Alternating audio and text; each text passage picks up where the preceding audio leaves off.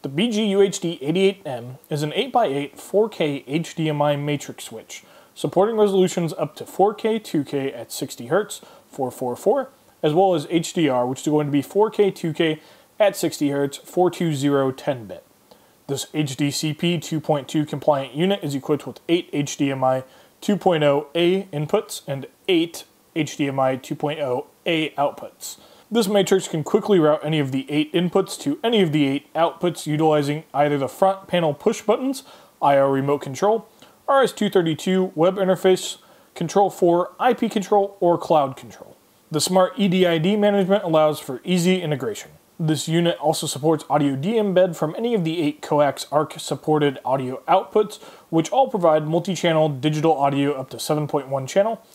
The supported various audio formats include PCM2, Dolby 5.1, and DTS 5.1. As you can tell, this is a great unit. It's a very fast response time, 3 to 4 seconds for input switching, and it also includes easy installation with rack mounting.